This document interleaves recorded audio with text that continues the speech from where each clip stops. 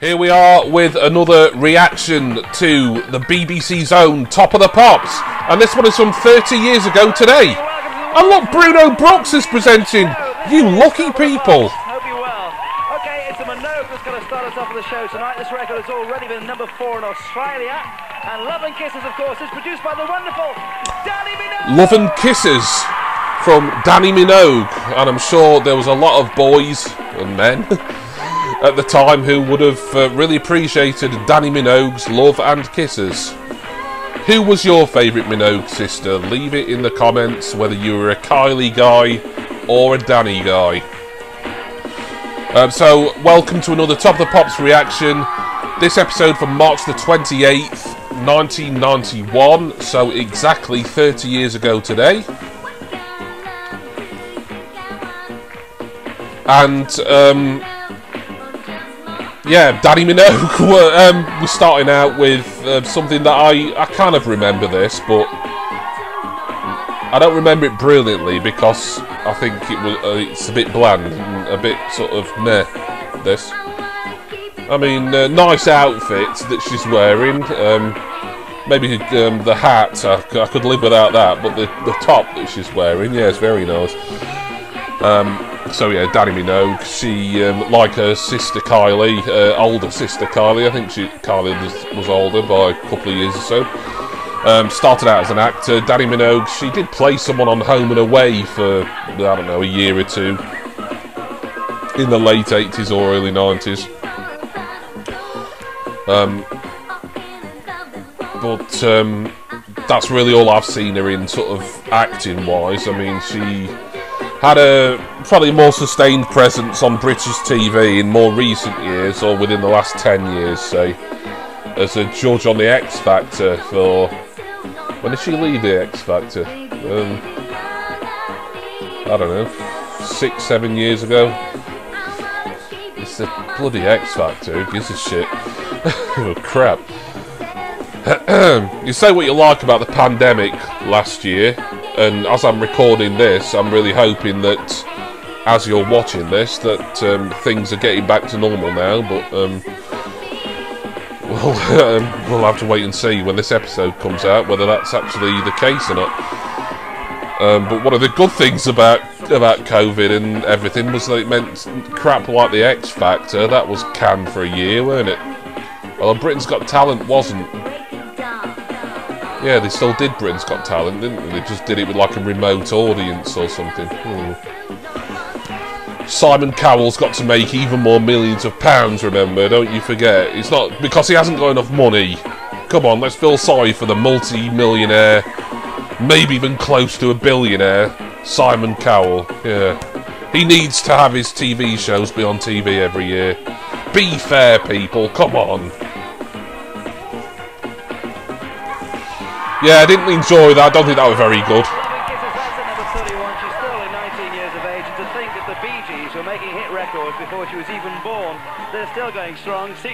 Oh well, Abigail Barry's going to be pleased because the Bee Gees are on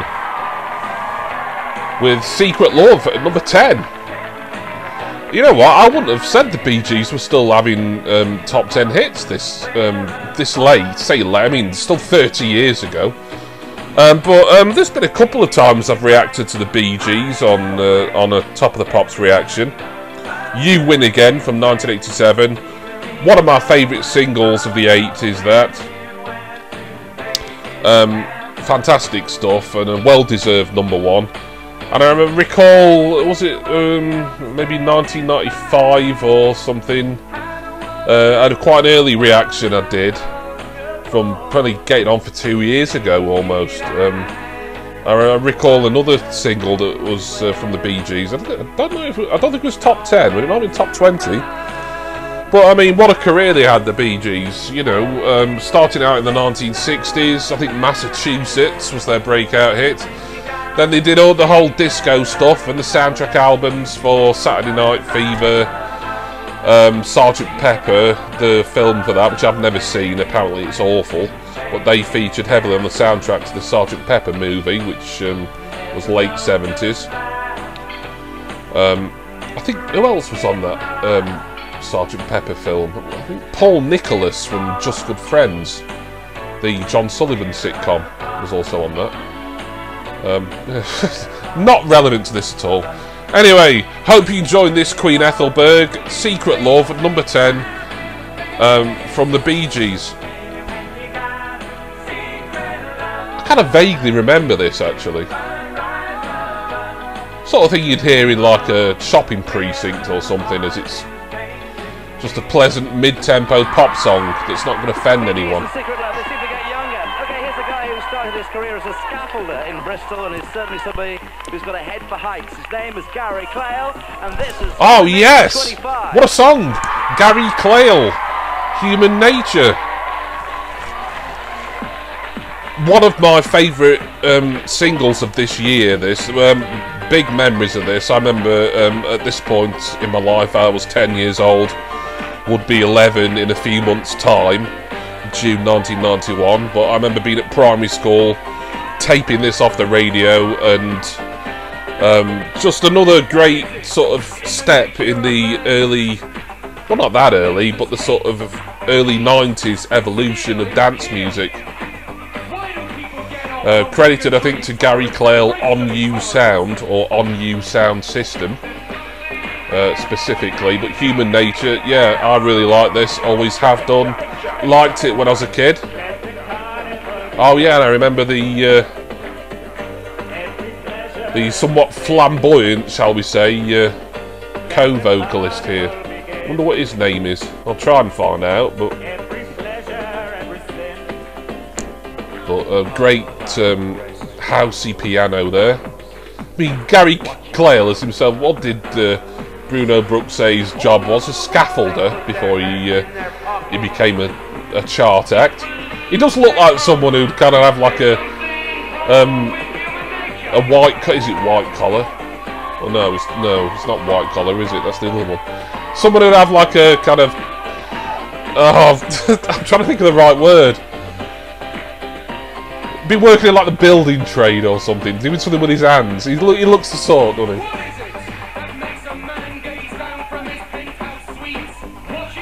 But yeah, um, certainly the highlight for me so far is Human Nature by Gary Clail on U Sound.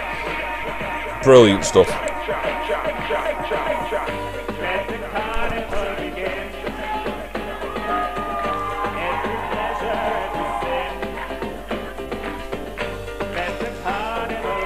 remember really enjoying this. I think, well, I was taping a lot of stuff off the radio at this point and listening to it on my Walkman, taking my Walkman to school. Um, probably pestering my mum to buy batteries all the time because I was just listening to stuff like this all the time. Wasn't buying music particularly. Um, you know, my father was someone who would encourage piracy. We didn't, we didn't call it piracy back then. We just called it taping off the radio. But um, home recording is uh, another politer term for it. But you know, basically stealing content.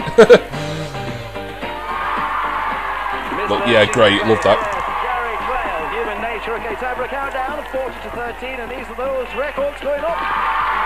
Oh, I think we've just seen the uh, the um, new entries and climbers. Um, yeah, I forgot they started doing this. They didn't show a full top 40, that's annoying.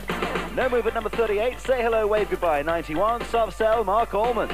36, a new entry for Inspiral Carpet. Good song, Caravan. Moving up 4 at 35, Can You Oh, that's good. Can You Dig It, Mock Turtles. No Another good track, Been Caught Stealing, I like that. There's a new entry at 33. Here we go. CC Music I don't really remember that one from C&C. Over to you, John. Here we go. Oh, bloody hell, Jive Bunny's still having hits. There's a new entry at number 31 for Dannii Minogue with Love and Kisses. Oh, looks like we're going, uh, I think he said all the way up to number 13, didn't he?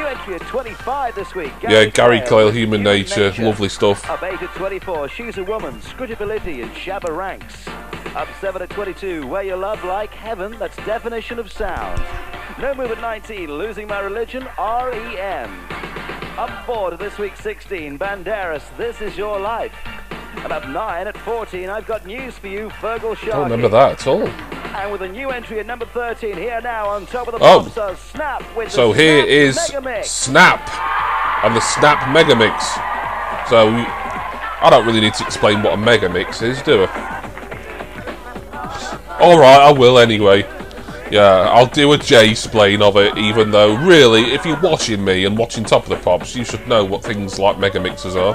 They're like a medley, and it's just a sort of more trendy term for an act's um, selection of big hits on big songs, well-known singles, etc. Just all mashed up together and remixed together to form just one continuous mega mix. So yeah. so yeah, this is obviously the power. Let's see if I recognise um, all of these tracks that's featured within the Megamix. Cult of Snap. Um, I think I quite enjoyed that as uh, uh, when that was released as a single in probably 1990. I think Cult of Snap may have come out. The Power, of course, was uh, number one.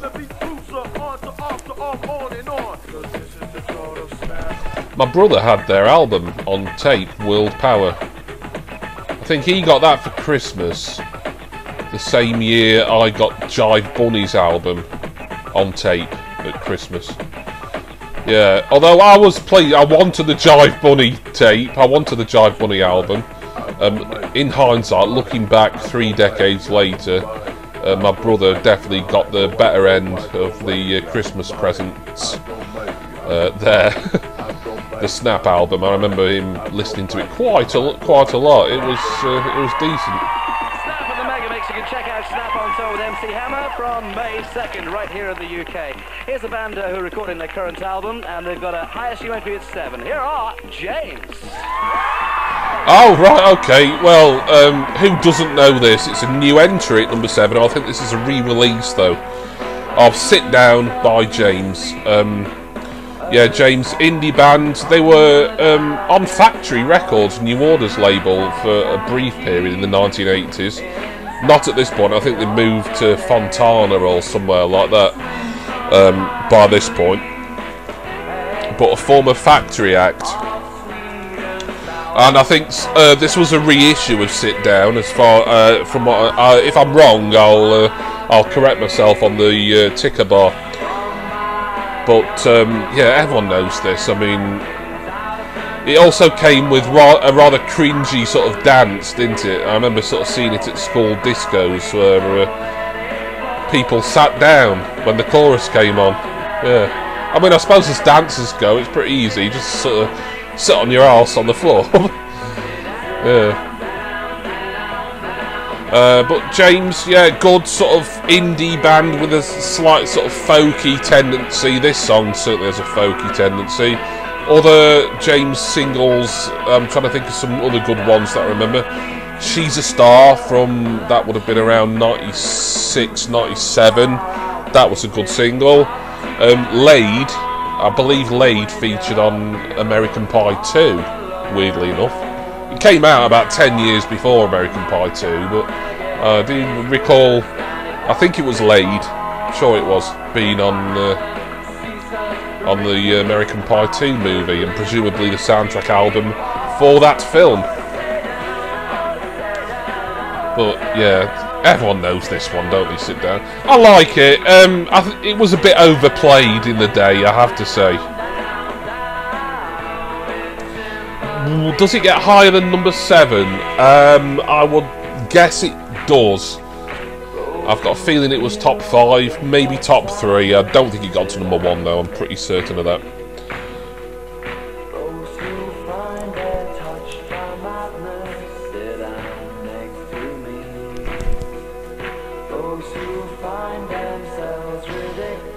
Yeah, I've got no problems with this. This has been a pretty good episode so far. Um, Dannii Minogue was kind of bland, a bit of a rubbish way to start. The Bee Gees, I was pleasantly surprised by that, but I wouldn't complain if I never heard it again.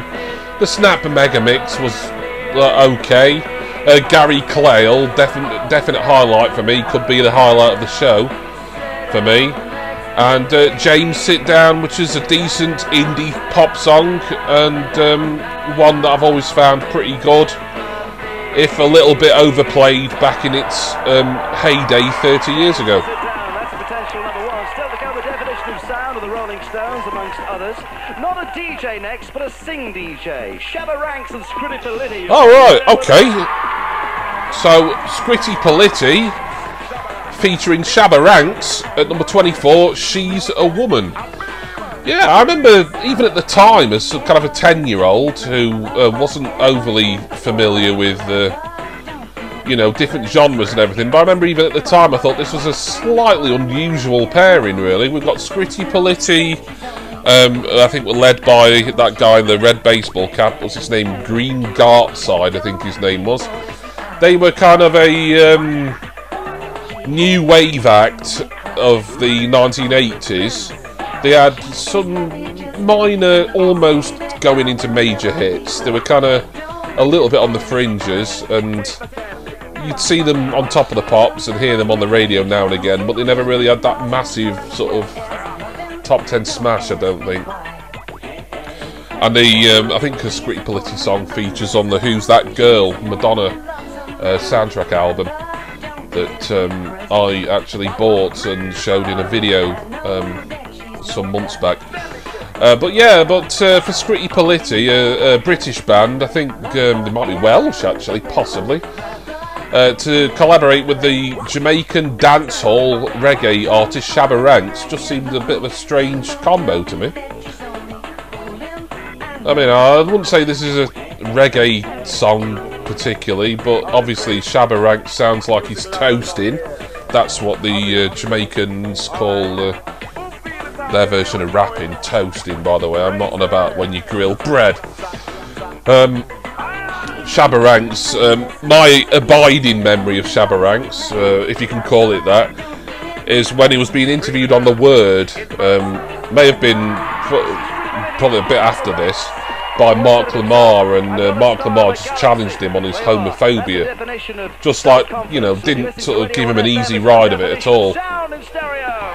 And I don't think Shabba Ranks' career particularly recovered, in not in this country anyway, after that.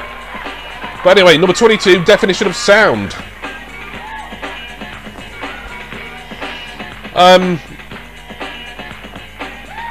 sounds like something that's got a sample in it, that a sample that I should really know, but um, I would probably have to listen to and not talk all over to try and determine what it was. So yeah, um, a sort of sample-driven hip-hop, sort of conscious hip-hop, that sort of De La Soul, um, PM Dawn sort of uh, vibe that's that's going on here with definition of sound. Um, I've got very vague memories of this. Um, uh, did they have any other hits? Definition of sound?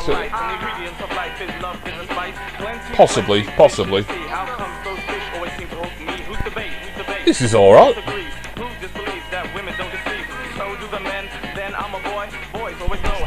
There's a couple of guys on stage miming it playing guitars, so maybe it's not been a, a real sample. Maybe that's someone with an original guitar playing bit on on the record, but.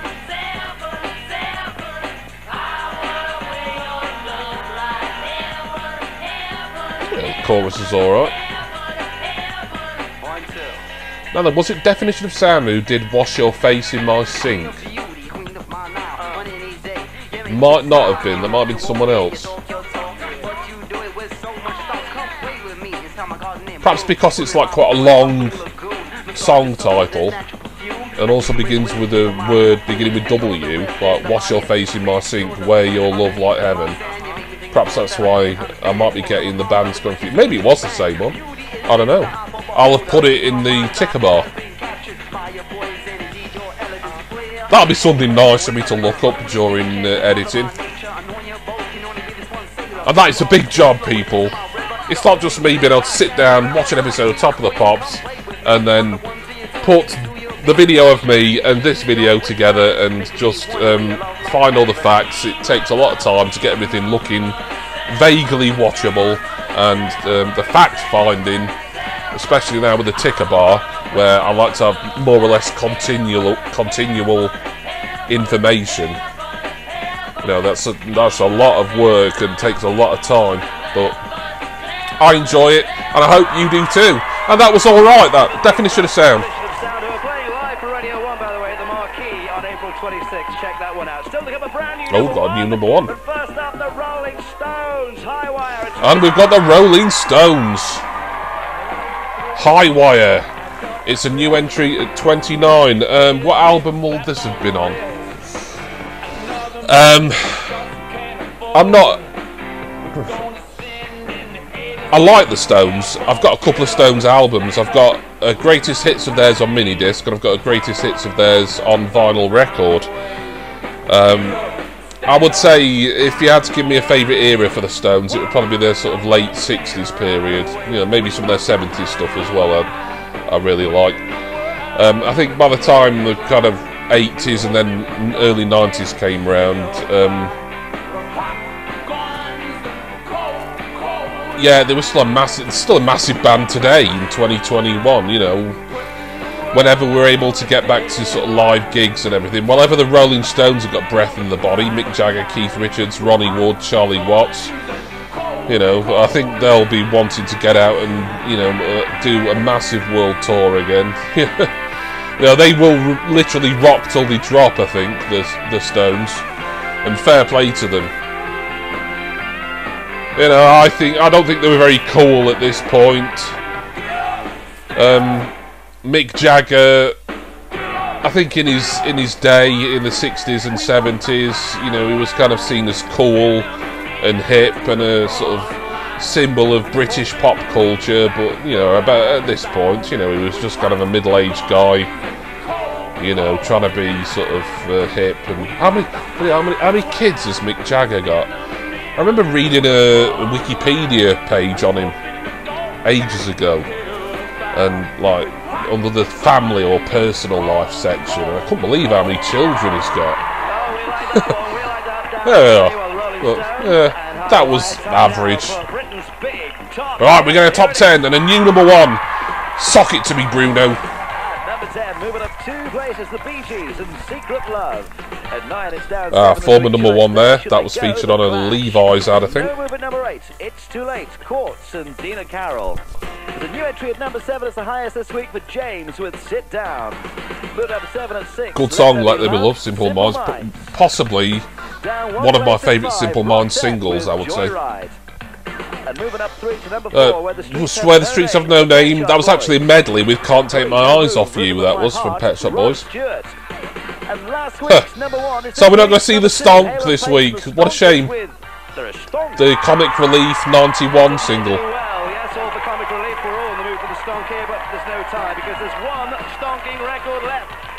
Brand new number one, the one and only. Oh yeah. Uh, well, okay. Well, going back to me taping off the radio and uh, listening to these tapes just kind of all the time on my Walkman, like every playtime at primary school and just sort of in the garden, like on weekends and things like that. This was on. I did like this, and I still quite like it. Yeah, I mean, when you look at Chesney Hawkes now, it was like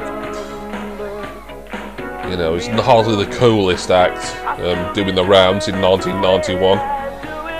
But this is a catchy pop song. You've got to, you can't deny it. Has it aged well? Mm, No, it does sound of its time, doesn't it?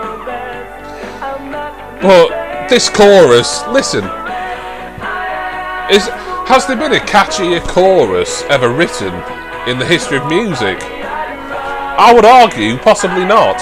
Although, leave your most catchiest songs in the comments and uh, we can have a nice debate about it. So yeah, how how many weeks does this spend at number one? Um, I've got a feeling it spent at least four weeks. I think it was um, heavily featured on a movie that came out at the time, Buddy's Song, which starred Chesney Hawkes. He was an actor as well, although I don't know if he's done much acting since. Don't know if he's done much singing since, to be honest.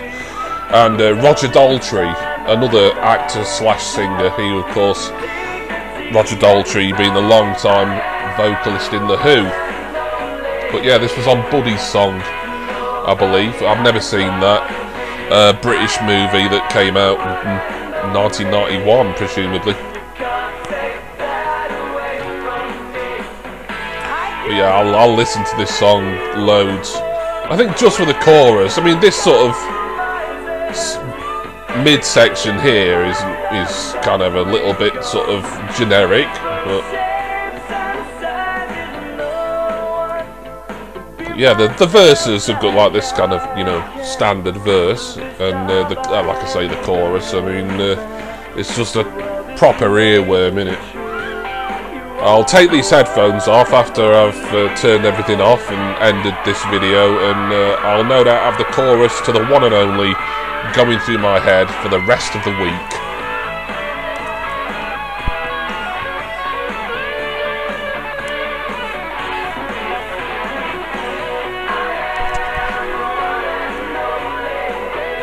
Yeah, I, I mean, a, a, a good number one. Um, this has been a pretty good episode. Not mind-blowingly excellent for me, but Gary Clail enjoyed that. A couple of others that were pretty good, and Chesney Hawkes, which was a number one that I was very fond of as a 10-year-old. 30 in the afternoon. Uh, gonna leave you with John Oh, okay. Have a very happy Easter and a very safe one. Thank you for watching. Gary Davies on the show next week. All the best. So, um, Jive Bunny, I don't know if this got much higher. Um, obviously, Jive Bunny, their first three singles, um, all got to number one. And um, then I think the sort of gimmick had run its course after that. But the uh, they did scrape the top 40 at least with this. Um, but um, with this being the last, um, the last video, the last song played on this episode of Top of the Pops, it is time for me to say my goodbyes. Um, as for what's coming in April, I have planned um, April's episodes. Things are subject to change, but um, two pretty different and pretty far apart years. Um, looking at my notes, which are not notes as such, just basically dates that I've written down. Um, so uh, hopefully I'll be able to do those for you in April. So look out for a couple more episodes in April, and hopefully many more throughout the rest of the year. But I want to thank you all for watching along this episode of Top of the Pots with me. Um, thank you, especially of course, to all of my wonderful subscribers and patrons.